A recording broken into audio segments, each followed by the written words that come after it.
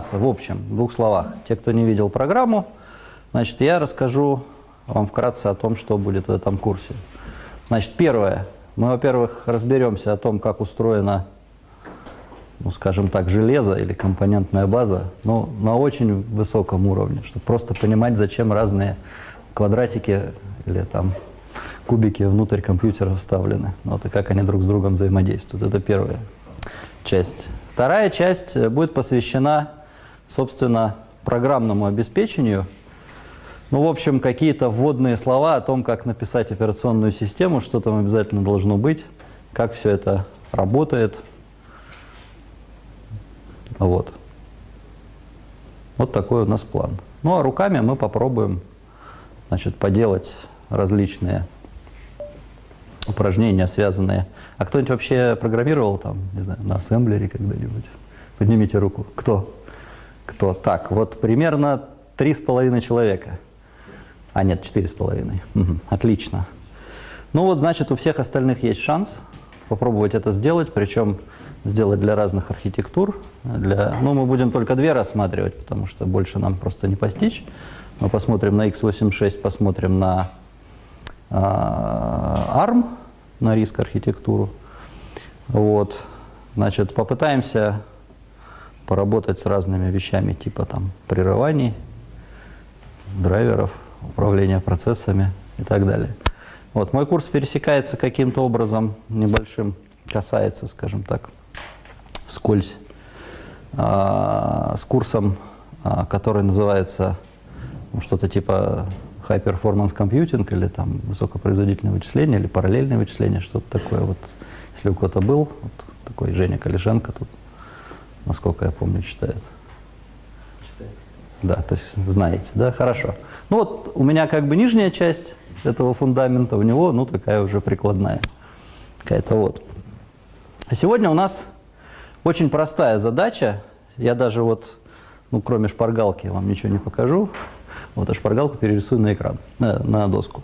Значит, сегодня у нас очень простая задача разобраться, вот э, как происходило развитие, значит, вот аппаратной базы и программной базы, вот от, начиная там, не знаю, первого компьютера, который вы сможете вспомнить, кончая тем, что мы видим сейчас. То есть различные там системы виртуализации, значит, вычисления там в кластерах, не знаю, cloud computing, если кто-то знает, что это такое. Вот мы должны вот по кусочкам значит, пройтись по этим шагам и понять, почему вот это так развивается или почему это так развивалось, и что мы на самом деле имеем, с чего мы э, значит, отталкиваемся, то, чтобы перейти на каждый следующий шаг. Вот, давайте, ну, поскольку я сказал, мы начнем с аппаратной базы, давайте вспомним самый древний компьютер какой-нибудь, кто-нибудь вспомнить. Ну, а бак приводить не надо, вот, а все-таки, вот, как, давайте. Есть идеи? Вот у вас там, я знаю, есть идея. Озвучьте ее. Значит, э, на самом деле, давайте, это же я не название у вас спрашиваю, было много разных, значит, э, вариантов, да, но первые компьютеры... Перечислить все великие русские реки. Да, значит, можно, можно так подойти, но давайте технически подойдем. Первые компьютеры были механическими. Да? То есть, ну, не знаю, вот арифмометр, в принципе, компьютер. Вот, в нем заложено 4 программы, аппаратно даже, не, не то, что там запрограммировано, напильником сделано. Вот он умеет там складывать, вычитать и так далее. Вот. А, значит, ну, на самом деле, самое первое, скажем так, развитие вычислительной техники было связано с оборонной там какой-то промышленностью, не нашей, не российской, наверное, какой-то западной. Вот. Э, как было связано? Значит, ну вот надо было очень быстро вычислять траектории каких-то там снарядов, да, ну, долго считать вот, там, параболы и так далее. Дифференциальные уравнения решать. Были вот такие вот компьютеры. Они были, а, аналоговые, часть из них, б, значит, э, э, какие-то цифровые, условно. И первая ошибка, вы знаете, да, почему баг стало называться, все знают, да? Где-то в интернете вы можете в Википедии, наверное, найти даже а вас, кстати, вот компьютеров нет ни у кого. Я думал, все сидят в компьютер, все записывают. Вот, значит, в Википедии вы можете найти описание первого, первой ошибки. Сложно назвать ее программной, но тем не менее. Почему багами все называют? Да, баг – это жучок.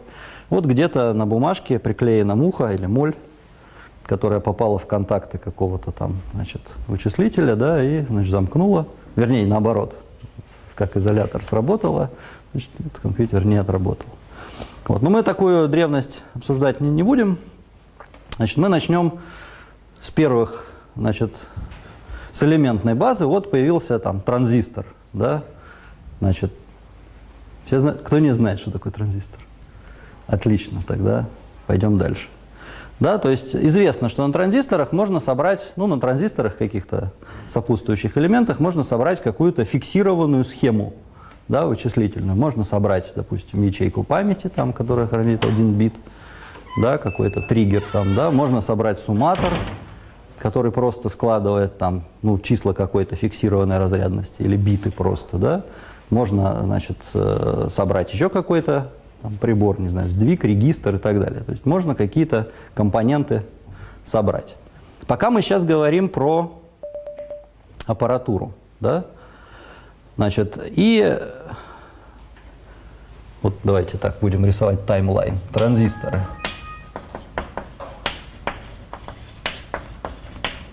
Мел очень мягкий.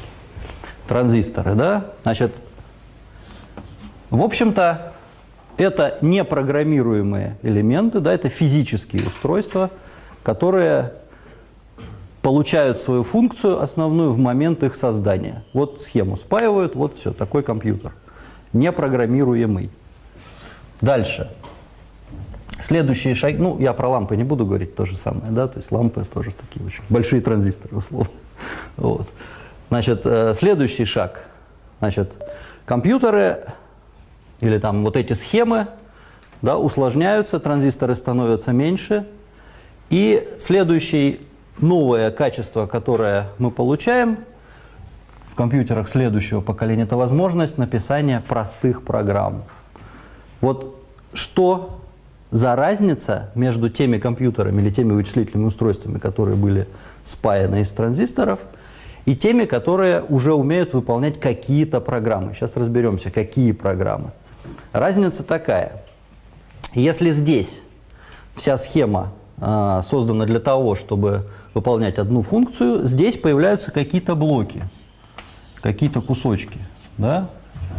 Значит, ну блоки такие в основном. Это память и это какой-то вычислитель. Ну, еще один блок, ну, давайте его пунктиром нарисуем. такая схемотехника, да? Это взаимодействие с внешними какими-то, с внешним миром. Сейчас мы про это поговорим. Значит, почему вот этот компьютер имеет возможность выполнять программы? Потому что он может какие-то данные хранить, плюс он может включать какие-то э, различные свои компоненты. Ну, то есть у него есть несколько базовых, вот, ну, я пока буду говорить спаянных внутри, там, может быть, кристалла, может быть, просто схем, которые умеют, а, складывать, б, там, сдвигать, в, что-нибудь еще делать. Вот. Значит, теперь давайте посмотрим, как же такой компьютер работает по сравнению с тем, как вот этот компьютер работает. Вот этот компьютер или схема аппаратная да, начинает работать, как только э, подают напряжение. Да? Вот каким-то образом, ну давайте пока вот так рисовать, что у нас есть какой-то, не знаю, вычислитель, да, вот у него есть какие-то ножки, некоторые из, из этих ножек называют входами, некоторые выходами. Все. Значит, как вот работает схема вот в этом историческом срезе? Мы подаем напряжение, сразу здесь получаем какие-то другие, такой другой набор напряжения. Вот Собственно, подаем другое, получаем другое. Все. Вот вся схема. Никакого программирования. Все программирование за. Те, кто подает напряжение, тот и программирует. Что получается здесь? Вот этот компьютер надо заставить выполнять шаги какие-то. Вот мы уже подошли к тому, что такое программа и как вообще работает вот некий вычислитель. Да? Значит, вы знаете, что э, для того, чтобы процесс ну, мы сейчас вот разделились. Помните, я сказал в начале, что у нас были аналоговые компьютеры, да, которые что-то там вот итеративно, даже не итеративно, ну, не будем в эту область ходить, там слишком все нам не нужно. Вот. Э, дискретные компьютеры, да, или цифровые. Цифровым компьютерам нужно что? Им нужно какая-то команда, которая заставляет их шагать, шаг за шагом. Правильно? Шаг за шагом, шаг за шагом. Зачем? Потому что а, компьютер делает следующее. Первое. Он выбирает что-то из памяти, чтение команды. Второе. Исполнение. То есть подключение вот этого блока какого-то одного из блоков. Да? Третье. Вывод. Вывод результата. То есть это базовый цикл вот любого компьютера. Да, что он делает? Он читает из памяти что-то, допустим, каждую следующую какую-то ячейку, ну, не знаю, какую-то. Как-то мы умеем, сейчас разберемся, как мы, как-то мы умеем специфицировать место в памяти, как, а, откуда ему читать. Значит, что он читает? Читает он две штуки. Инструкции, команды, да, и данные, над которыми эти команды исполняются. Результат, соответственно, тоже. Значит, он может записать в память. Ну, память либо это часть самого там, устройства самого вычислителя, либо какой-то внешний, ну, тоже какой-то собранный из транзисторов там, или еще чего-то, э, значит, блок. Вот. Так вот, для того, чтобы, ну и вспоминаем там идеи там, абстрактные, машина Тьюринга там, и так далее, вот это, в общем, реализация. Вот. И существует два варианта. Базовая организация такого вычислителя, да, значит, первое, это когда у нас есть, а, ну вот сейчас я веду такое понятие, как шина, и чуть попозже про это мы еще поговорим. У нас есть, значит, во-первых, собственно, вычислительное устройство, да, вычислительное устройство какое-то, процессор, если хотите, да. У нас есть отдельно память, память, у нас есть шина. У нас есть шина. Да? Значит, и память, и вычислительное устройство, ну, пока у нас других блоков нет, да, вот только три их в нашей архитектуре, они соединены шиной, да? Все. Значит, что такое шина, какую роль она здесь играет? Все очень просто. Значит, э, вот вспоминаем вот эту вот простецкую схему, которую мы спаяли из транзисторов, да, которую, если мы подаем какие-то напряжения, она сразу нам выдает результат. Вот шина нам помогает что делать? Она помогает нам выдавать нужные напряжения на вот эти ножки. Вот. Теперь давайте разберемся, что это за напряжение, что это за сигналы и зачем вот эти ножки используются. Первое, нам надо выяснять, какая команда сейчас должна быть исполнена. Да? То есть часть ножек мы можем задействовать для того, чтобы туда подавать команду. Часть ножек мы можем задействовать для того, чтобы подавать туда данные. Ну, например, вот там 2 плюс 3, да, простая операция. Вот данные у нас 2 и 3, а плюс это команда. Вот простая идея. Теперь мы можем подавать данные и команды по-разному. Первый вариант. Мы прям саму команду подаем на вычислительное устройство, да, на нужные ножки. Вот. Это первый вариант. Второй вариант. Мы подаем адрес команды, которая лежит где-то в памяти. Это одно и то же. За исключением одной маленькой детальки. Деталька такая. Для того, чтобы с этой командой все-таки что-то сделать, процессор, ну или вот этот вычислитель, да, он должен иметь соответствующую какую-то соответствующий блок, который умеет эту команду читать, дешифровать, а что такое дешифровать? Это значит подключать нужный вот квадратик для сложения, вычитания, там еще чего-то. Вот пока на таком примитивном уровне. Да? Вот. То же самое касается данных. Мы можем данные подавать прям на ножки, первый вариант. Второй вариант, мы можем на ножки подавать адрес данных где-то во внешней памяти. И третий вариант, мы можем кусочек внешней памяти поместить вот сюда. Вот это у нас получается что? У нас получается регистр сначала. Да, вот мы уже добрались уже примерно до какого-то архитектурного понимания, как из транзисторов спаять какой-то вычислитель общего назначения. Но у нас не хватает еще одной здесь детальки. Деталька такая. Вычисления происходят шаг за шагом, да, и на самом деле любая программа чем занимается? Чем занимается любая программа? Вот на компьютере запускаете, чем она занимается? Исполнением команд. Она занимается модификацией памяти. Вот у нее на входе один образ памяти, одно состояние. Команда происходит, другое состояние. Больше она ничего не делает. Вот если так разобраться, да, вот процессор или компьютер занимается ничем иным, как просто модификацией памяти. Вот. То есть вот до команды у нас одно, одно состояние памяти, после выполнения просто другое. Все. Ну, мы пока отбрасываем в сторону всякие устройства, там вот вывод, сейчас мы про это отдельно поговорим. Вот, пока у нас получился вот такой компьютер. Нам надо научить его шагать. Поэтому выгодней, выгодней завести специальный блок, вот здесь мы уже начали про него говорить, который занимается выборкой команд и их дешифрацией. Вот. И этот блок связать с регистром, в котором хранится указатель на текущие команды. Вот так в любом современном процессоре появляется ну, то, что называют instruction pointer или там по-разному. То есть некий указатель или некий адрес, который указывает начало следующей команды. Вот. И теперь нам остался еще один маленький блок, который нам надо сюда добавить. Нам надо, чтобы вот эта схема начала работать. Ну, то есть вот мы все соединили, но еще не, не, не завели. Вот для того, чтобы завести, нам надо знать следующее. Во-первых, выборка, ну вот чего-то из памяти, команды или данных, она занимает какое-то время, правильно?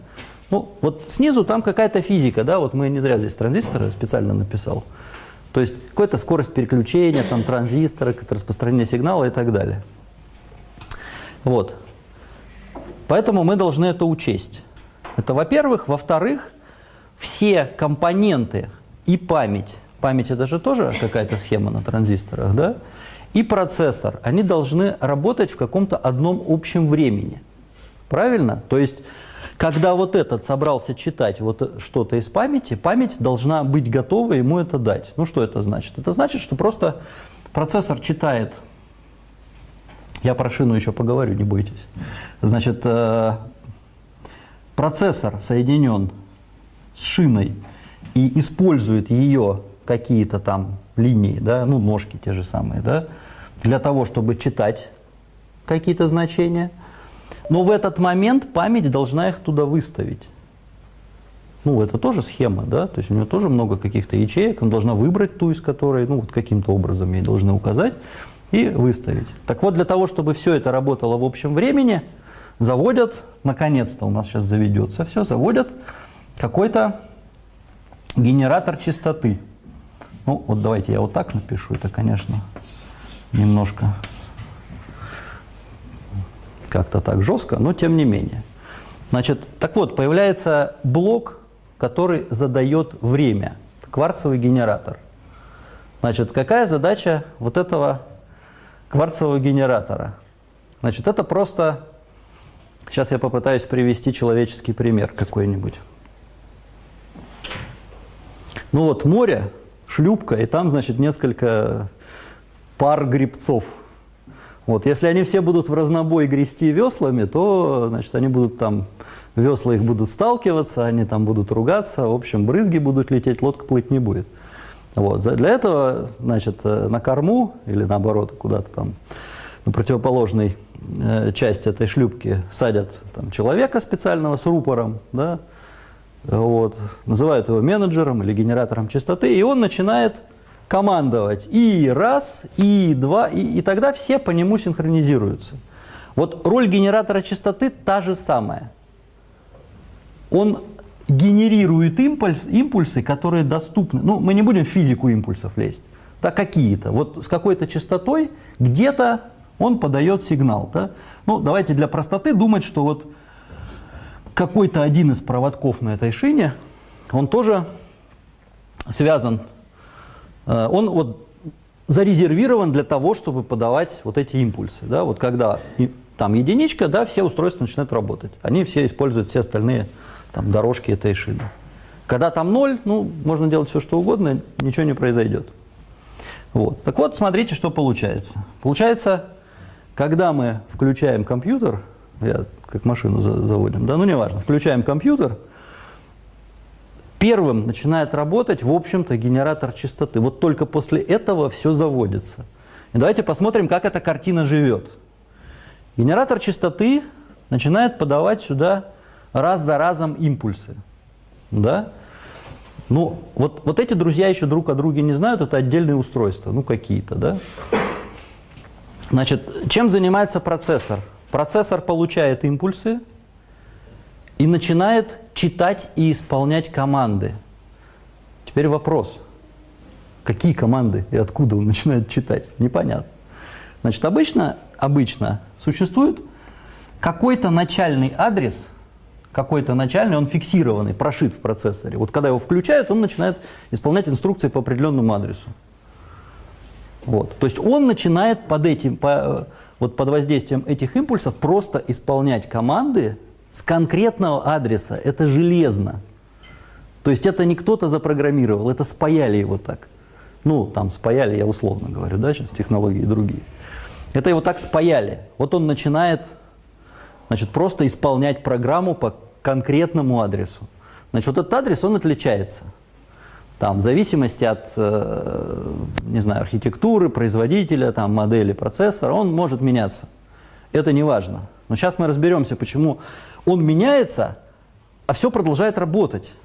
Это вот пока отложим в память. Теперь, как я обещал, поговорим про шину. Что такое шина? Значит, шина... А кто не знает, что такое шина? Это как? Можете объяснить в двух словах? Ну, собственно, координирует взаимодействие. Не, не. Ну, похожая идея, но не вот координирует вот этот. Шина это, смотрите, это такой, как объяснить? В общем-то, если бы мы соединяли вот эти штуки напрямую друг с другом, да, что бы нам потребовалось? Нам бы потребовалась гора проводов соединить вот эти вот вещи друг с другом, да, гора проводов соединить, ну, вот, ну, каждый с каждым, да, получилась бы такая очень сложная какая-то штуковина, вот, и провода эти, все это сложно, да, поэтому что делают? Поэтому делают такую архитектуру, вот просто берут эти провода, прокладывают, я специально так вот немного грубо рассказываю, да, чтобы было просто понятно, что такое шина и не было иллюзий. Значит, вот прокладывают эти провода тонко-тонко где-то там на системной плате, как-то так, чтобы они не интерферировали там еще чего-то. Вот. И к ним подключают, ну вот сколько ног у устройства есть, каким-то образом, да, вот можно к тем же ногам, к другим, вот это топология какая-то, подключение устройств. Например, память, у нее какая задача? У нее задача очень простая. Ей говорят по одним каким-то ножкам, говорят, хочу вот, вот из такой-то ячейки выбрать, там из 365. Вот у памяти есть разрядность. Да, вот если 365 влазит сюда, да, то мы такой адрес можем выставить. Выставили. А по другим ячейкам, то, что лежит по этому адресу, мы хотим получить. То есть память работает очень просто. Вот вспоминаем вот этот квадрат, да, у нее так, вот здесь вот входом является номер ячейки, ну понятно, что мы в бинарном виде можем записать здесь все что угодно, да? А выходом является число, которое там лежит. То есть мы, меняя вход, получаем другой выход. Логика такова, что вот просто ячейки здесь перечисляются. А здесь это могут быть команды, это могут быть данные. Вот третьего не дано. Вот. Вот так взаимодействует устройство через шину. Шина – это, скажем так, промежуточный буфер обменный, да, вот как бы такое место, вот не знаю, еще говорят, ну вот модель такая есть, как бы доска объявлений, да. То есть вот, вот есть у меня белая доска, а вот вы все устройства, да, значит, вот в моей, в моей системе, в моем компьютере, да. Если я вот куда-то, значит, на часть этой доски положил какую-то, написал какое-то слово, вы его все видите, вы можете его использовать. Но доска это модерируемый ресурс. То есть, если мы все вместе побежим что-то писать на доске, получится хаос. Правильно? Поэтому шина, поэтому шина принадлежит в один момент времени, ну, по крайней мере, по записи, одному из этих кусочков, одному из этих устройств. Вот. Существует целая какая-то процедура, какой-то алгоритм, кто владеет шиной. То есть, кто имеет право туда писать. Ну, иногда и читать, но это не очень важно. Давайте думать, что там вот, монополь. Пишем и все. Вот. То есть, на самом деле, на самом деле все очень просто. А, ну, шина чуть-чуть посложнее нескольких этих проводов. Она просто еще имеет, ну вот мы усложняем нашу архитектуру, но тем не менее, мы еще один блок сюда вот а, прикрутим и назовем его контроллер шины. Чем занимается контроллер шины? Он устроен вот вообще вот так вот. А, как бы так попроще его нарисовать.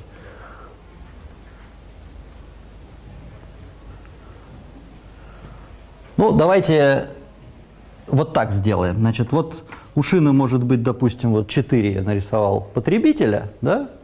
Вот, и это вот входы, это выходы.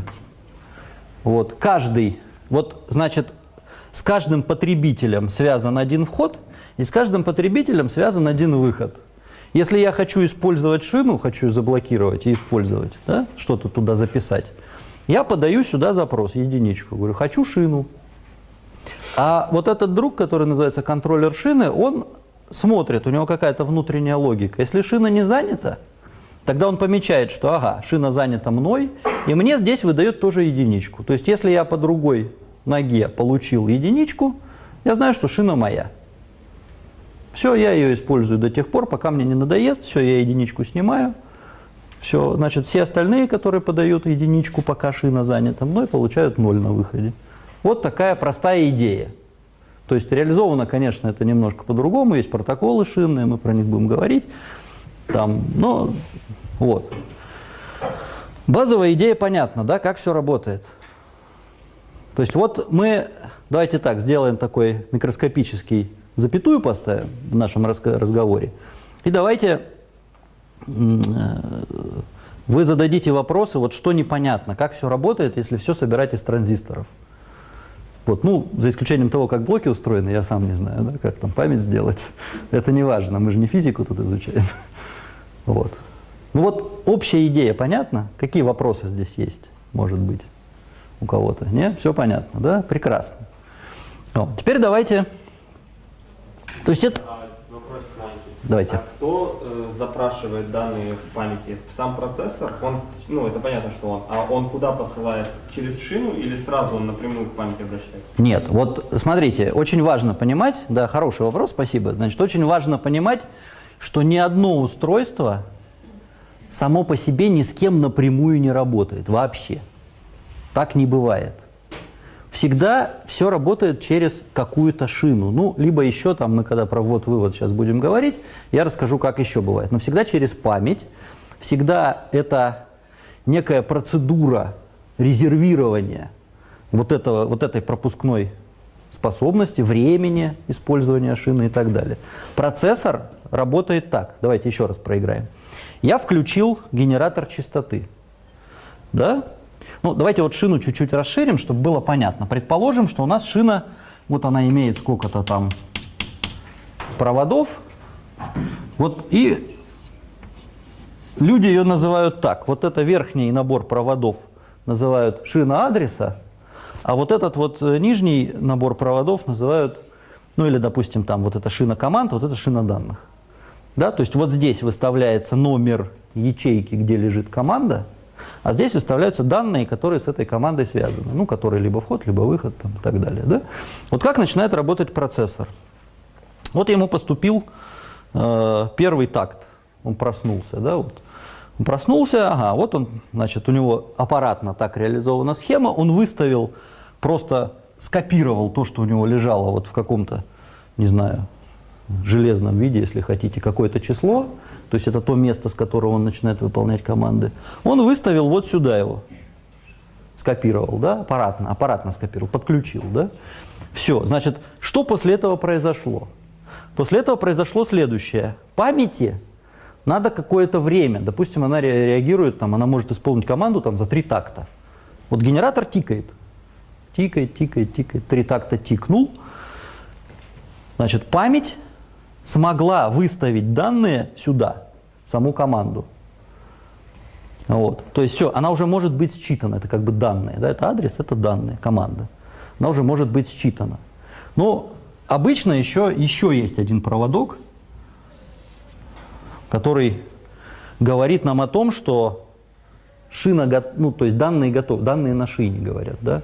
То есть то, что там считать можно вот по вот этому вот набору проводков, оно проверено, то есть оно выставлено, не просто там случайно образовалось. Вот, вот и все. То есть все, процессор выставляет значение, читает команду, дешифрует ее, выдает какой-то результат, опять же на шину, да? читает следующую и так далее. То есть обычно его логика такая. Либо он инкремент, э, ну, инкрементирует, да, а, ну сейчас я так, чтобы не забегать вперед, сильно уж. В общем, процессоры бывают разные. Иногда размер команды всегда одинаковый, допустим, там 3 байта или там 4 байта, да?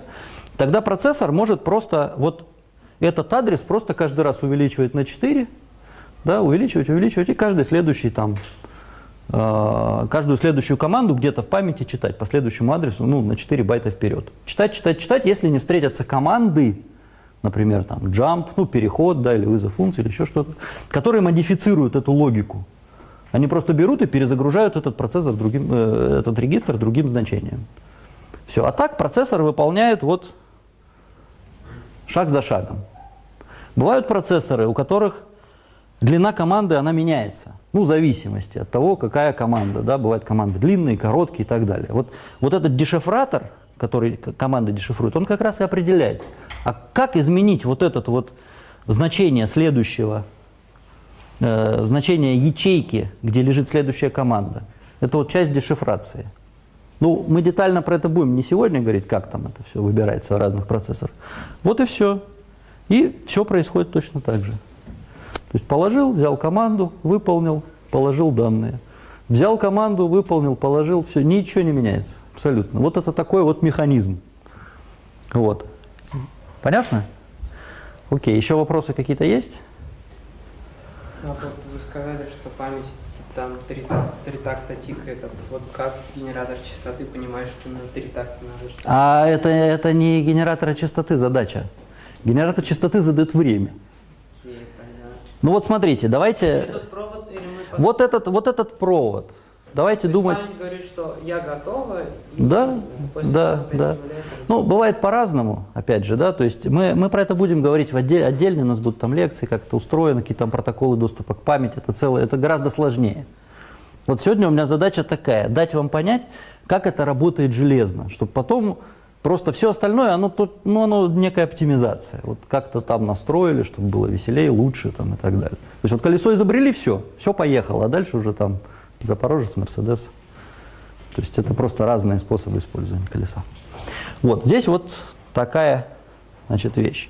Давайте теперь выявим, что здесь плохого в этой архитектуре. И сделаем, как я обещал, перерыв. Вот где здесь изъян? Что в итоге получается? Где в итоге? Ну, выход. А вот смотрите, э, мы это говорили, давайте еще раз проговорим. Да? На самом деле любое исполнение программы – это не что иное, как модификация памяти. Вот у вас в начале память была в таком состоянии, вы поработали, 363 тысячи команд выполнены, она в другом состоянии. Все. Вот, и- вот и весь выход. То есть у вас всегда результатом выполнения программы является модифицированная память. Все. Ничего другого. Конечно, вы видите там на экране какие-то картинки, там, не знаю, изображения интернет-браузера там и все такое. Это немножко другой вопрос, мы его сейчас обсудим. Это так называемый раздел I.O. ввод-вывод на внешние устройства. Мы сейчас про это поговорим. Но вот само вычисление, сама картинка, которую вы видите на экране, или что текст, который вы потом видите напечатанным, или там, не знаю, что-то еще, это не что иное, как просто образ памяти в каком-то виде, правильно? Вот. То есть вот, вот это очень важно. Сам вычислительный процесс, он такой безликий. Он просто вот завели, и все работает. Понятно, что вы исполняете разные программы. Как? Очень просто.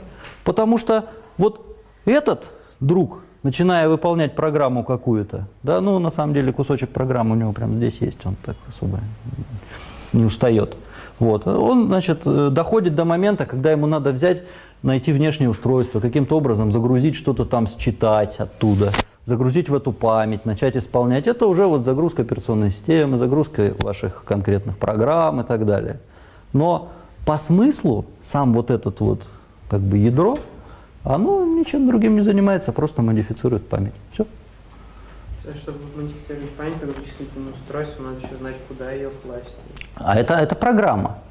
Ну, то есть, ну, у нас, ну, мы говорили только про то, про вход программы и какие данные даются на вход, но нам еще надо, видимо, знать еще адрес, куда положить результат.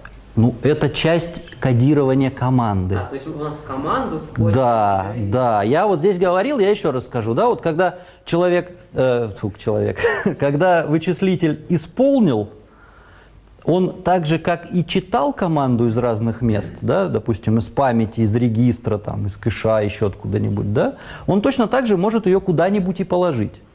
Он может ее положить во внешнюю память, может положить в регистр, может там еще куда-то. Э, Есть такое... Так, потому что иначе нет смысла вообще что-то делать. То есть он обязательно кладет. Он не может просто читать и исполнять. Ну, результат-то всегда есть Да. выполнение, правильно? Иногда, ну вот, иногда память не модифицируется, да? И можно сказать, а что же это за программа, когда память не модифицируется? Тогда модифицируется не внешняя память, а внутренняя. Ну, например, вот процессор выполняет инструкции, да, одну за одной, одну за одной, одну за одной. У него модифицируется только instruction pointer, то есть он выполняет вот пустые команды. Ну, бывают такие команды в любом процессоре, да, вот ничего не делать, просто такт, ну, вот что-то занимать время. Вот. Тогда все равно меняется память. Вот этот регистр с указателем команды, с адресом команды, это тоже память. Просто видите, у нас тут память, она как бы, давайте ее разде- разделять. Вот, ну, будем все-таки говорить регистр, память внутренняя вот самого устройства. Там тоже есть блоки, которые что-то хранят. Да, и память внешняя. Вот все внешние устройства доступны через шину. Вот он туда, это целая процедура туда положить, это шину надо заблокировать, туда что-то положить, дождаться, пока возьмут, там что-то такое. Вот. Поэтому часто, почему вот кэши, мы про это будем говорить, почему здесь кэши появляются? Потому что вычисление локально, как правило. Вы берете какой-то блок, что-то с ним делаете, и вам не надо туда-сюда ходить в память. Правильно? Вы что-то сделали, а потом вот уже вот целый блок положили. Вот. Это одна из оптимизаций. Мы, когда будем разговаривать про архитектуры разные, посмотрим, как это сделано. Ну, давайте все-таки идентифицируем здесь проблему, в чем проблема, и сделаем маленький перерыв. Значит, проблема здесь такая. Может, когда много вычислительных устройств, О, правильно. То что происходит? ну, шина тебя на устройство именно. Правильно. Они начинают все воевать за шину, и все тормозит. Причем, если мы более внимательно посмотрим на вот эти много вычислительных устройств, мы увидим, что некоторые устройства, они медленные. Они медленные, они как черепаха, займут шину, долго на нее смотрят, потом что-то там берут. Да? А есть устройства быстрые, например, процессор, память. И когда мы их все начинаем через одну шину связывать, получается, что у нас все время вот эти черепашьи устройства прерывают вот, вот эти устройства, которые очень быстро что-то там делают. То есть, если она шину захватила, он говорит, ну подождите, сейчас я тут вот развернусь и, значит, вот тут положу. Да, значит, вот. Да, вот эта проблема. Вот эту проблему мы сейчас порешаем. Вот, и так мы выявили вот такую проблему. Да? Мы выявили, что оказывается, если у нас три устройства, два общаются, то э, одно ждет, если ему надо. Если у нас миллион устройств, два общаются, значит вот 9, 9, 9, 9, 8 устройств ждет, пока значит, эти два там поговорят. Вот. Какое решение? Несколько шансов. Несколько шин.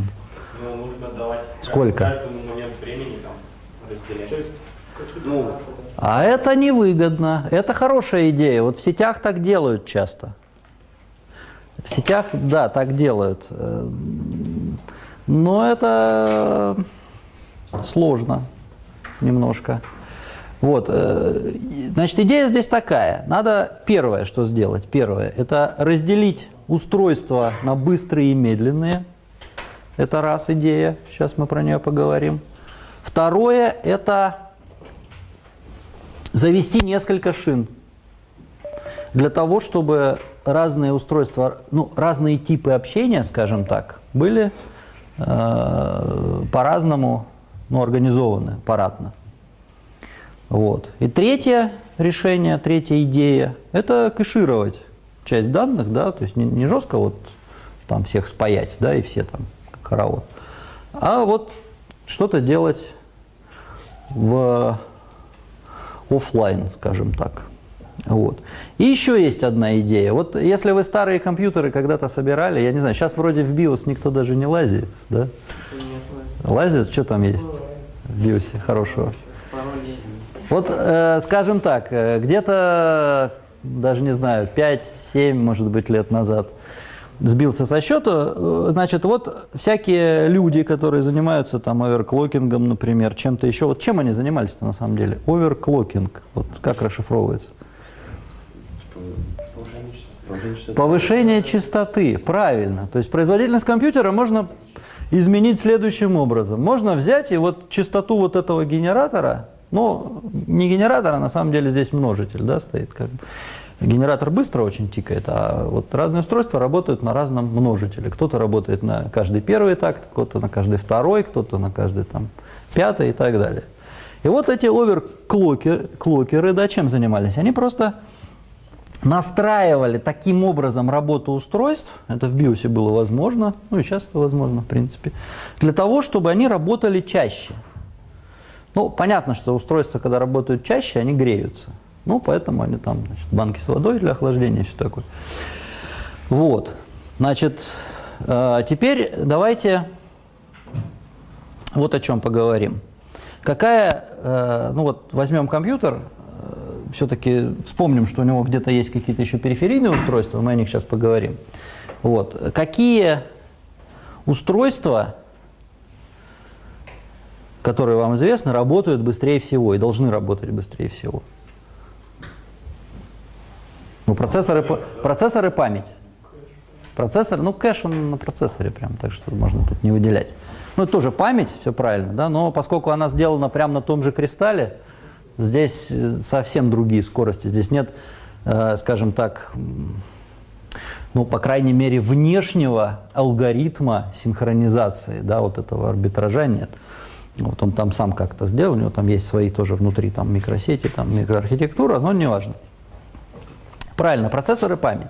Так вот, разработчики, они стараются в эту сторону походить.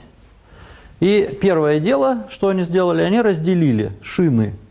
Значит, ввели шину, я не буду рисовать, это и так понятно, да? Они ввели шину между процессором и памятью. Ну, Intel назвал это FSB, как это не смешно, Frontside Bus. Да, значит, ну вот, э, значит, вот нечто, соединяющее процессор и память именно. Для того, чтобы остальные устройства не, не, не лезли в этот процесс. Вот, и шины как бы периферийные. Ну, периферийные, вот самые старые, если там начинать вспоминать, там всякие ISA, там вот PCI, потом, потом там вот что-то еще, PCI Express, там, далее, AGP там и так далее. Много чего интересного. Про шины мы отдельно будем говорить, но важно знать следующее, что некоторые шины широкие и параллельные, параллельно используемые, да, вот, э, а некоторые шины узкие, но последовательные. То есть, как бы, в чем различие и зачем вообще иметь и параллельные шины, и последовательные шины? Вот. Что-то я там очень смешное говорю. Да, ну, поделитесь. Ну, наверное. Вроде никто больше не смеется. Вот. Ну, значит, ладно. Э, Значит, вот последовательные шины хороши, вернее, параллельные шины хороши чем? Тем, что можно сразу целиком очень широкое слово поставить на шину и за один там такт, ну, за один прием, скажем так, считать. Да? А последовательные шины, вот приходится по кусочкам, допустим, там, если слово у нас там 4 байта, да, мы вот по байту там, туда ставим. Но у, у них есть преимущество. Если параллельные шины мы не можем делать длинными, ну, проводов много, мы удлиняем, они там начинают какие-то там странные токи возникают, что-то там физически происходит неприятное. Вот. А последовательные шины могут быть достаточно длинные. Вот. Поэтому в основном все э, шины, все интерфейсы, которые вы имеете внешне, они в основном все последовательные. Вот. У вас параллельных, ну вот раньше был там скази, да, такой вот широкий такой шлейф, там, я не знаю, кто-то из вас, может, видел там для подключения там, принтеров или сканеров, давно, лет там, 10 назад, наверное. Вот. Сейчас все последовательные, в основном там USB, там еще что-то. Вот они, они последовательные. Вот. Так, теперь давайте, ну про шины у нас отдельная будет песня, давайте про ввод-вывод поговорим. Про ввод-вывод. Значит, э, правильно, вот кто-то там заметил, да, вот вы, по-моему, э, что же является результатом работы программы или там чего-то, вычислений, да, для пользователя? Вот. Для того, чтобы пользователь смог как-то влиять на программу, как, ну, на самом деле, что значит влиять? Просто выбирать путь ее исполнения. Программа имеет несколько ветвей, ну, все вы это понимаете, да? И вот выбор той или иной ветви, она зависит от пользователя. Либо от внешних событий, лучше так говорить. Сейчас мы про внешние события поговорим чуть позже. Ну, пока пользователь. Значит, как это выглядит? Значит, вот здесь вот еще в нашей системе есть некий персонаж, который нажимает на кнопки. И как-то, ну, это человек такой у меня нарисован. Ну, все так рисуют, ну, в общем, я так рисую. Это шляпа. Что так быстрее рисовать, чем человека с ножками. А, Значит, у нас есть пользователь. Каким-то образом через периферийные устройства он меняет порядок исполнения инструкций. Как он меняет? Значит, программа либо готова что-то от него получать и интерпретировать, либо он генерирует какие-то события, обрабатывать которые программа готова. То есть она, в принципе, не готова, что вот ее так будут использовать. Она не ждет ничего от пользователя, но если пользователь что-то такое Ctrl-C нажимает, ну, хорошо, я умею это делать, я просто выключаюсь. Да? Вот.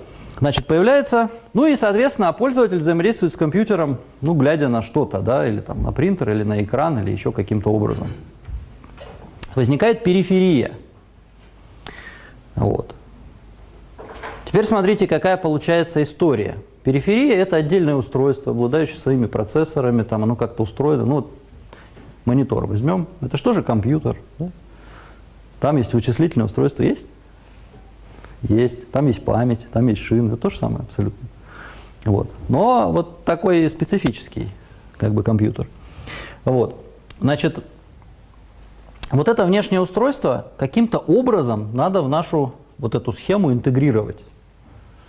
Да, но мы можем интегрировать, мы уже договорились как, мы делаем шину, ну, либо используем эту шину, либо делаем еще какую-то шину.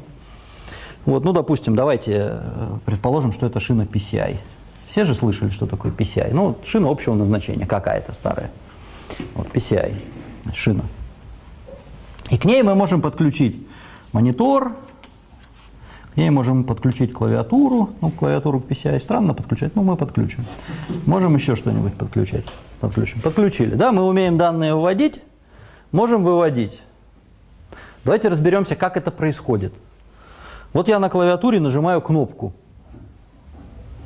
И я ожидаю, что вот этот процессор, вот этот вот совсем не связанный, сейчас мы тут связи нарисуем, должен как-то поменять порядок исполнения команд и что-то сделать. И память как-то по-другому модифицировать. Уже не так.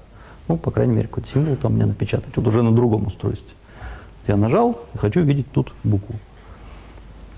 Непонятно, устройства разные. Так вот, это тоже компьютер. Да, давайте вот эту шину все-таки подключим сюда. Ну, очень просто. Мы возьмем специальную микросхему. Мы пока не будем ей давать название, просто микросхема. Скажем, что эта микросхема занимается следующим. Она э, с одной стороны подключена к одной шине, с другой стороны к другой шине. Что это такое? Значит, она выполняет роль одного из таких устройств, любых, да, которые могут использовать шину, то есть блокировать, что-то туда выставлять, читать, если надо. Вот. С другой стороны, она знает о том, что есть еще какая-то шина. Или даже мы можем вместо этой шины нарисовать какое-то устройство прям четко. Да? Вот это вот контроллер там какой-то шины, либо контроллер устройства.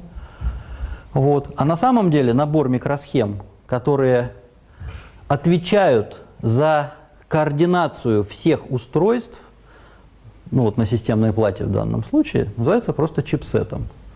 Да, почему? Ну, чипсет по-английски это просто набор микросхем, да, поэтому я и сказал, давайте воткнем просто микросхему и никак ее не назовем. Это просто одна из микросхем на плате.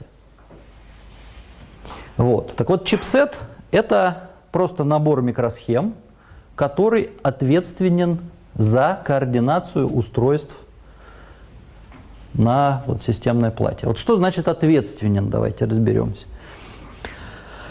Ответственен – это значит, во-первых, эти микросхемы или чипсет да, реализуют алгоритмы, ну вот, например, часть чипсета, да, доступа к шине – алгоритм блокировки шины, да, алгоритм а, значит, ее захвата, освобождения и так далее. Вот. Эти же микросхемы отвечают за обработку прерываний. Вот теперь давайте поговорим про прерывание. Ну, все такое же слово слышали, да? Все знают, что это такое. Почти. Да, давайте вот в нашей картине мира сделаем прерывание, да? Смотрите, у нас есть генератор частоты, у нас есть процессор и память. Что-то там в этой памяти загружено, ну, допустим, что-то там как-то появилось. Может быть, это результат просто выполнения команд последовательно. Программа, которая сама себя генерирует. Вот. Значит, вот мы включили компьютер, генератор частоты стал тикать, задавать время, процессор стал работать. Работает, работает, работает, работает, но тут я нажал на кнопку. И возможности остановить процессор у меня как бы ну, нет, потому что он занят там. Он просто каждый такт обрабатывает одинаково. Просто читает следующую инструкцию, что там было, исполняет ее, вводит результат в память. Все. Так вот, для того, чтобы процессор приостановить, у него есть ножка одна. Ну, она тоже подключена к шине, ну, неважно. Значит, эта ножка ровно одна. Она называется, ну вот, И. Интеррапт. Да? То есть, если на эту ножку подать напряжение, подать сигнал, у процессора аппаратно включается другая схема, другой кусочек исполнения. В нем внутри включается. Не тот, который берет инструкции из памяти, читает, декодирует, исполняет и выводит в память, а другой, который берет инструкции с другого адреса. Вот эта область в памяти ну, давайте ее пока назовем обработчики прерываний. Вот дальше мы про это будем подробно говорить. Но смысл заключается в следующем. Я нажимаю здесь на кнопку на клавиатуре. Значит, клавиатура, ну, посредством там какой-то своей шины, там чего-то, устройства какого-то, неважно, выставляет здесь, на вот этой шине, к которой подключен процессор, и который у него ножка и подключена тоже, сигнал прерывания. Чем в этот момент занимается процессор? Процессор вместо чтения, ну, ту, которую исполнял он инструкцию, он продолжает исполнять, заканчивает. После этого он останавливает, бросает все в том состоянии, в котором было, и просто загружает вот сюда, а это что такое? Это указатель на следующую инструкцию. Вот он загружает сюда не инструкцию следующую, адрес следующей команды, а загружает специальный адрес, который называется ну, адрес какого-то обработчика прерывания. Пока забудем какого, будем считать, что он у нас один. Вот. И начинает исполнять этот код. То есть он, в принципе, делает то же самое, но один маленький э, шаг перед тем, как делать то же самое. Меняет адрес, которого он начинает что-то там исполнять. То есть процессор железный, это очень хорошо. То есть что он, он, не, он не думает, он раз. Это, это очень выгодно, потому что если процессор думает много, он тормозит. Вот. Теперь чем же занимается вот этот код? Обработчик прерываний, специальная, ну, кусок памяти, где какие-то тоже команды лежат. Он занимается следующим. Он пытается понять, почему прервали процесс вычислений. Вот. Как он пытается понять? Есть возможность какая-то, мы сейчас про нее поговорим, определить, какое из устройств требует внимания.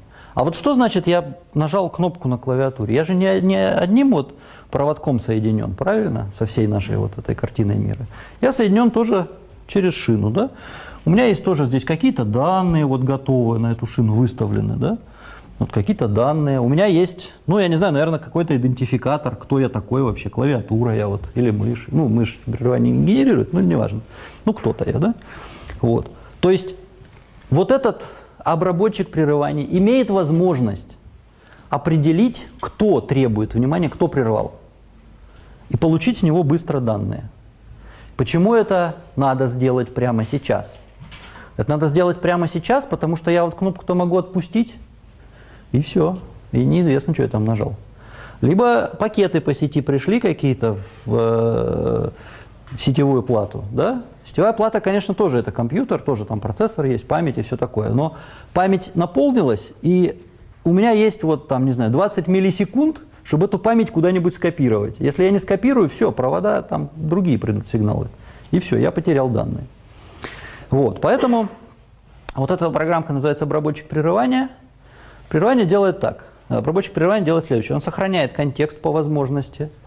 Ну, чтобы вот этот процесс, который, которого прервали, ну, процесс мы пока не говорили, программа, вот эта последовательность инструкций, которую мы исполняли, чтобы она не заметила, что ее прерывали. Ну, то есть, если она складывала, она вот в регистре там каком-то увидела результат, вот ожидает его на следующей инструкции поиспользовать, чтобы она его там случайно что-нибудь другое не увидела. Рабочий прерываний быстро сохраняет контекст.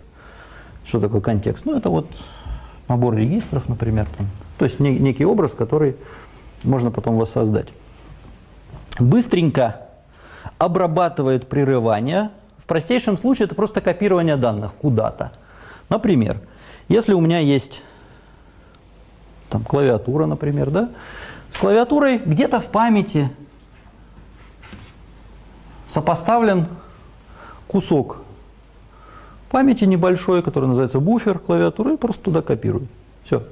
Вот сама по себе клавиатура, она не занимается интерпретацией там, вот этих данных, она просто их умеет поставлять посимвольно. Она даже их копить не умеет. Ну, может, умеет, но будем думать, что не умеет. Все, эти данные здесь складываются. Потом, когда они кому-то понадобятся, они будут доставлены. То есть, если здесь появятся инструкции, которые вдруг захотят прочитать, что там пользователь нажал с клавиатуры, им это будет дано. Они вот отсюда это как раз и прочитают. Вот. Так вот, прерывание. Да, прерывание – это очень важный механизм. Это один из как бы ключевых механизмов. Дальше нам мы увидим. Вот. То есть вычислительный процесс есть, он работает автоматически, там всего три шага, если очень сильно огрублять. Прочитали, исполнили, записали, все. Но этот процесс можно прервать. Для чего? Для того, чтобы обработать сигналы внешних устройств. А теперь смотрите, вопрос. Ножка у процессора у нас одна, а устройств 200 внешних. Что делать? И что?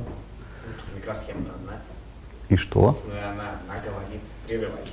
Не, сейчас, сейчас, сейчас, сейчас, сейчас, подождите. Вот у меня, у меня, значит, э, сколько я сказал, 20 устройств, да?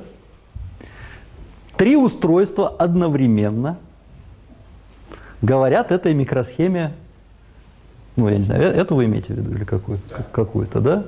При- у меня есть данные для процессора, прервите его. Как? Сама должна решать. Она же умная у нас. Ну, она А. собирает очередь, они по одному, наверное, прерывают. Не прерывают. А, Ну, хорошее размышление, да. Здесь, значит, давайте, давайте вот все-таки попытаемся разобраться, насколько она умная и как она устроена. Что, какие тут идеи могут быть? Вот, вот у меня есть 20 устройств, как их обрабатывать? Каждому как идентификатор. Вот, значит, микросхема, микросхема очень простая. Сейчас я вам ее нарисую. Она, она вот такая вот. У нее один выход и сколько-то ножек, три, например. Ну или там восемь. Да? Вот. Это микросхема очень похожа на вот эту. Только у нее тут выход один. Ну, на самом деле то же самое, да? То есть э, микросхема делает следующее. Она имеет одну ячейку памяти здесь, какую-то, в которой она может хранить конкретно, какой из вот этих вот устройств, по какой ножке пришло прерывание. И вот эту ячейку памяти, она в принципе может скопировать ну, в какую-то память, которая доступна процессору. Ну, либо процессор отсюда может взять, неважно. Вот.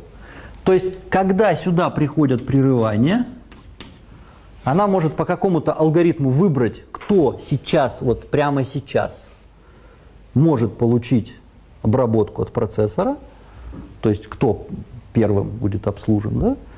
И когда процессор прерывается, у процессора это одна нога, процессор может прочитать номер вот этого устройства. Да? Ну хорошо, у нас тут 8 ног, а устройств больше. Тогда мы делаем еще одну вещь. Мы берем точно такую же микросхему, к одной из ног подключаем. Если нам еще раз не хватает, мы можем еще одну подключить. Точно так же. Это вот называется каскадирование прерываний. Да? То есть мы вот можем создать любую архитектуру, люб, любое количество уровней обработки прерываний. Вот. Но здесь есть один момент. Момент такой – когда прерывание обрабатывается, в тот момент, когда прерывание обрабатывается, может поступить еще прерывание. А здесь нам надо решить, что делать. Какие есть идеи? Забить. Либо на новое забить, либо на старое. Правильно. Надо прерывать то прерывание. А смотрите, какая штука получается. Можно создать такой процесс прервать, начать выполнять это прерывание, придет другое, начать выполнять другое, начать другое. Но, но в каждый раз нам надо сохранять контекст где-то. Если мы начнем это хранить во внешней памяти, а прерывания ведь разные бывают. Например, внешняя память скажет, упс, у меня место кончилось, мне на диск надо. А мы тут должны контекст сохранить. Ну, то есть тут очень сложно. Вот. Э, не получится так в общем виде решить, поэтому делается следующим образом. Существует несколько ну вот каскады, да, несколько уровней прерываний, это первое. А второе, существует маскирование прерываний. Маскирование – это наложение маски. Да? Например, если мы начинаем обрабатывать прерывания на этом уровне, ну какие-то устройства у нас сюда подключены, да, это значит, что прерыв... мы выставляем специальный флажок. Ну, где-то, опять же, да, я тут вот на шине все флажки выставляю. На самом деле у процессора есть специальный регистр, там всякие разные флажки лежат. Мы выставляем флажок, который говорит, мы сейчас находимся в прерывании, в обработчике прерывания.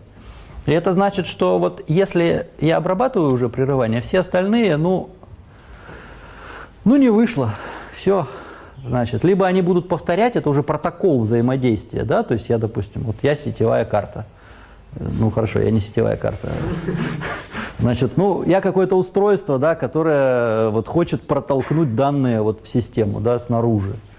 Я проталкиваю, не получается. Ага, я не получаю подтверждения, что я там их вот протолкнул, да. Значит, ну, есть протокол, ну, я еще раз пытаюсь, там, через какое-то время еще раз пытаюсь. Ну, надоело мне, я тогда бросаю все, и загорается лампочка, там не работает. Вот. То есть есть всегда протокол, всегда вот как бы верхний уровень, э, ну вот так прикладной уровень, что ли, да, вот не физический, а прикладной, он всегда какой-то более сложный, более разумный, да, он что-то там повторяет, там что-то, ну, либо это не важно, послал, не получил, ну, ладно. Можно вопрос? Да. А можете еще объяснить насчет подключения нескольких микросхем, вот вы там делаете? Ну, смотрите, здесь вот какая идея. Сейчас я сотру. А, я вот здесь нарисую. Смотрите, ну вот э, рассмотрим. У нас есть одна микросхема, у нее, допустим, три ноги. Это значит, что три устройства я могу подключить. Вот, а здесь вот в этом вот кусочке я могу записать числа 0, 1, 2. Это значит, вот какое, какая конкретно нога является источником прерывания. Ну, здесь вот я специально так вот очень просто рассказываю, на самом деле все это не так устроено, но идея такая, да? Вот. Мы подключаем другую штуку. Вот. Значит, если... И, и что у нас получается? У нас на выходе получается уже сколько? Раз, два, три, четыре, пять ног. Я уже пять устройств могу подключить, да? Здесь такая идея. Если прерывание приходит по этой ноге, допустим, Значит, если удается захватить вот это, вот это устройство, да, если удается захватить это устройство, ну, здесь не было никого, да, на том же уровне, то тогда получается, здесь лежит номер вот этой ножки, а здесь лежит номер вот этой ножки. То есть мы всегда можем определить топологию, как вот оно соединено прямо сейчас. Вот. Понятная идея? Вот, то, есть, то есть вот это очень простая идея. Это просто мультиплексор. Ну или как-то вот, ну некие вот схема переключения, да. Тогда как данные попадают. А д- данные через эту ножку никак не попадают, это сигнал. А может, ему надо, да? Вот, сейчас, сейчас про данные, значит, про данные. Ну вот смотрите, вот эта картинка, вот шина, слева что-то, справа что-то, она вам ничего не напоминает?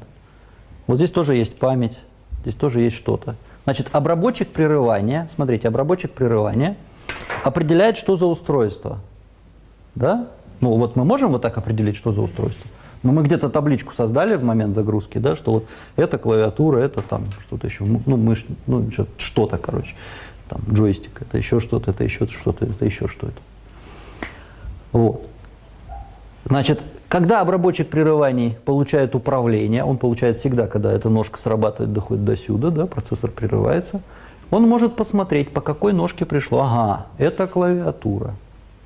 Значит, обработчик прерывания должен выполнить тот кусочек кода, который знает о том, как устроена клавиатура, как взять у нее данные, да, что для этого надо сделать? Ну, сходить, заблокировать вот эту шину, вот это все, ну, какой-то механизм, да, вот. И вот этот вот кусочек, который знает, как устроена клавиатура, называется драйвер. То есть это такая вот, такой кусок кода, который знает конкретное устройство.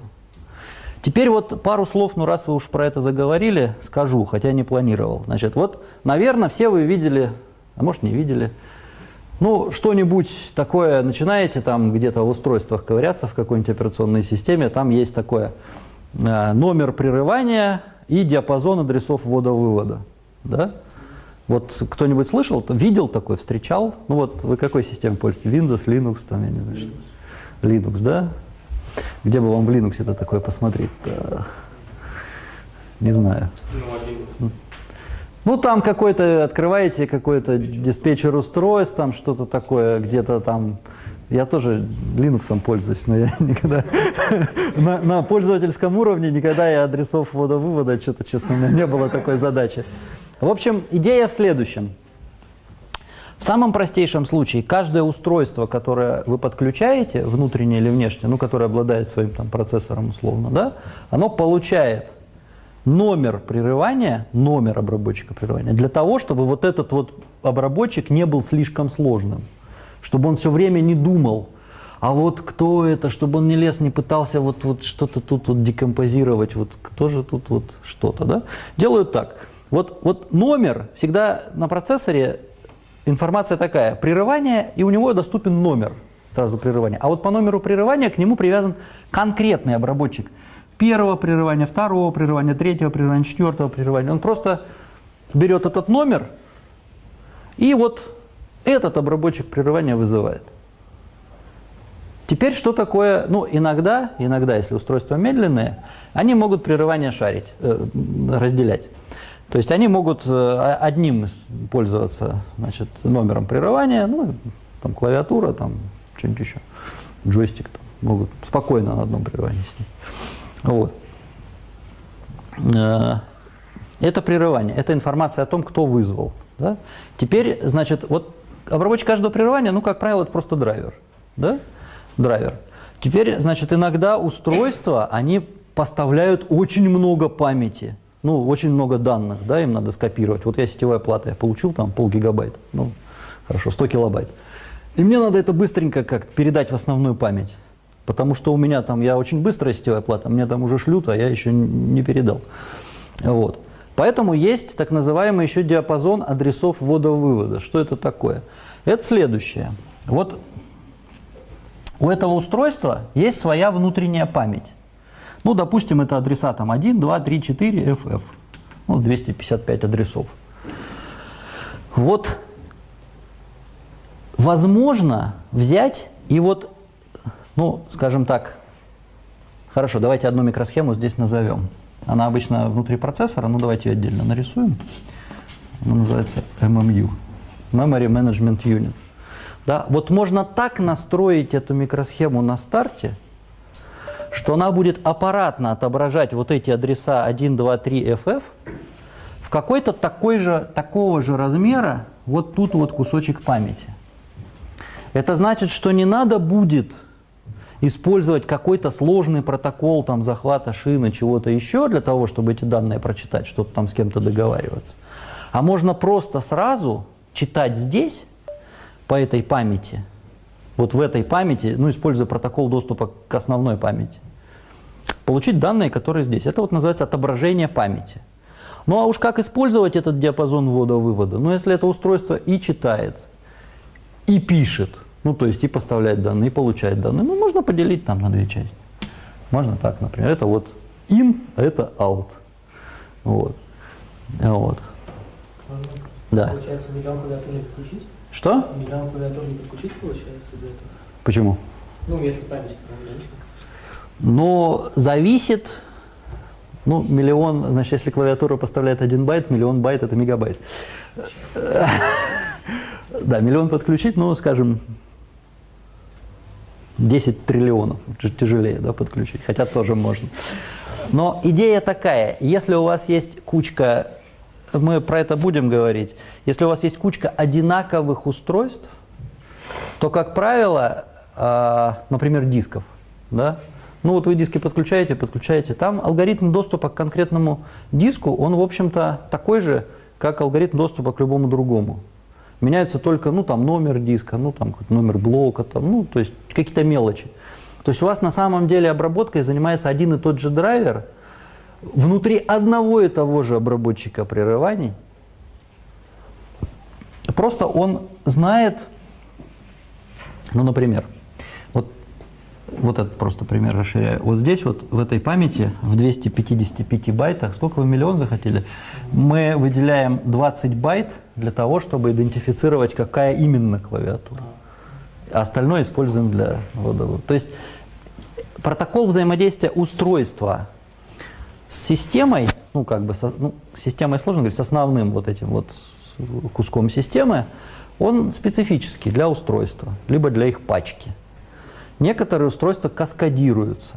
Например, вот там шина USB, да, она может, э, ну вот микросхемы, да, USB, да, они, они могут поддерживать USB-концентраторы, которые сами по себе вроде устройства USB, но ну, они какие-то такие пустые, да, их задача подключать другие устройства, да, то есть получается такой каскад. Да, то есть это один и тот же, один и тот же механизм доступа, один и тот же протокол. Вот. И один и тот же драйвер это может обрабатывать. М? Ответил? То есть миллион клавиатур подключить? В принципе, да. Когда мы включаем устройство, правильно понимаю, что должно срабатывать прерывание на то, что мы подключили устройство? А что значит подключили? Вот, Ну вот это место очень Вот у интересно. нас не было клавиатуры. Ну, У нас мы его воткнули, и хоп, и появилась клавиатура. а что значит хопа появилась? Как в это, вот, вот, Система должна узнать, что она появилась, кажется. э, что за клавиатуру вы воткнули? Вот э, PC2, ну, PS2 клавиатуру, если вы воткнете, система не заметит. Почему? Потому что протокол взаимодействия периферийного устройства с системой, он таков, что неизвестно, когда вы включили. Вот если вы USB включили, значит, протокол такой, что устройство USB должно себя зарегистрировать в дереве USB устройств. Оно генерирует прерывание. Я вот про, э, про вот список, где мы, мы живем про прерывание, мы же не знаем, вот мы нажали, какое мы прерывание. Ну, то есть какого типа мы прерывание. Сейчас, на клавиатуре нажали, мы уже знаем. Да, но если мы... вот- Система сконфигурирована. Ну вот только-только подключили клавиатуру, и мы Так. даже еще не знаем, что это клавиатура, Если- Сейчас, сейчас, давайте разберемся. Мы это кто? Это пользователь? мы- Да, мы- вот мы- Так, я, я, я воткнул клавиатуру, да. Что произошло в этот момент? допустим, ничего не произошло. Хорошо, ничего не произошло. Затем я нажал, система еще не знает ничего про никакую клавиатуру. прекрасно. Я нажал на ней кнопочку. Так. Вот. Вот. И не- и Она не- должна понять, что И, ничего, и ничего не произошло. Окей. То есть, получается, какие устройства не включай, и ничего не происходит. Правильно. Что не нажимай, тоже ничего не происходит. Неправильно. Правильно. Если устро... Вот смотрите, вы же не просто... Вот давайте разберемся. Вот две разных клавиатуры рассмотрим. Вот PS2 клавиатура, да? Вот вы ее включили, и ничего не произошло, даже если вы нажмете на две кнопочки. Ничего не будет работать, если вы включили клавиатуру в момент уже, когда система работает. Почему? Потому что клавиатура, я вот, к сожалению, этот момент не рассказал, ну ладно, я в следующий раз его расскажу, у нас что-то время, я что-то долго разговариваю. Значит, потому что часть устройств, ну мы процесс загрузки, когда будем, значит, рассматривать, мы это поймем более детально. Вот хорошо, процессор начал исп- исполнять вот здесь вот при старте какие-то команды. На самом деле он начинает исполнять команды сначала post, ну, power of self test. То есть он смотрит, я вообще жив, у меня память есть, процессор, ну, то есть какие-то там, знаете, примитивные тесты. Ходить могу, могу, все, пошел. Вот. Потом BIOS. BIOS это ну, базовая что там, операционная ну, система ввода-вывода. Да? Чем она занимается? Она занимается следующим. Перед тем, как дать управление дальше, она делает следующее. Она берет и смотрит, есть ли у меня такая шина. Есть. Так, есть ли на ней устройство номер 0? Устройство номер 0. Молчит. Нету. Устройство номер один. Есть. Есть. Оно нумерует все устройства и составляет вот некую карту устройств. И поэтому, если вы потом включили клавиатуру PS2, ни- никто не обнаружит ее вообще. То есть, если я сейчас возьму старый компьютер и включу... Попробуйте. И ничего не увидите, да. Абсолютно точно. Как... А теперь почему USB клавиатура работает? Потому что у вас есть, у вас что здесь, другой разъем, да? В этом вся магия. Потому что вот этот разъем, этот разъем это не просто разъем, потому что за ним стоит USB-концентратор. Это устройство, которое BIOS обнаружил при старте. А USB-концентратор, он такой. Ему подают сюда сигналы, вот этот тактовый генератор, ему подает сигналы сюда, а он опрашивает, не появилось ли там чего. Вы воткнули, все, воткнули, значит, это обнаружил, что появилось-то там что-то. Его-то знают, он поднял прерывание, обработчик прерывания начал исполнять какой-то код, а что у тебя там появилось, это блочный, нет, это клавиатура. Все, клавиатура появилась, ура, в дереве устройств. Или вот, например, магия. В старых Linux, значит, вы втыкаете флешку и не работает. А в новых Linux вы втыкаете, и у вас сразу ярлык появляется на столе. Да? Вот. Почему? Да потому что по таймеру существует некий там, ну не по таймеру, на самом деле, существует некий механизм в дереве устройств Linux современном, который э, поддерживает динамическую конфигурацию. Если устройство появилось, генерирует события, оно рассылается всем заинтересованным. В user space, да, я заканчиваю, я знаю.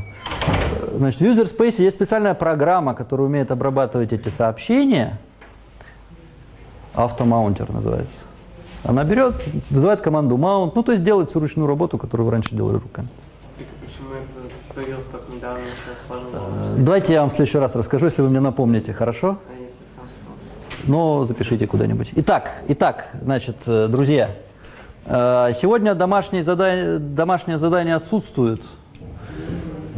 Ну, потому что пока это обзорный материал, и, видимо, я еще часть следующей лекции, вот, ну, в- когда там, в понедельник, еще, значит, закончу с этим, и дальше мы перейдем к архитектурам, там, к системам команд, к процессорам и так далее.